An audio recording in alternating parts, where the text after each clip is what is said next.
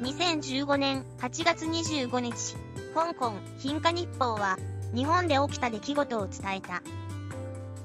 ハフィントンポストの報道として、日本のあるネットユーザーがツイッターに投稿したつぶやきを紹介している。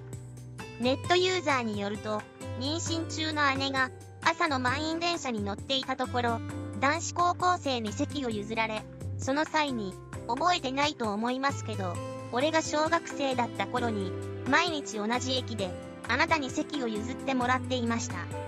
今度は俺の番ですと言われたという。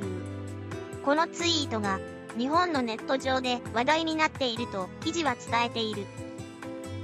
この報道に、中国のネットユーザーは、次のようなコメントを寄せている。暖かいですね。感動した。こういう社会ってすごく素敵だと思う。できすぎた話だな。でも日本ならあり得るかも。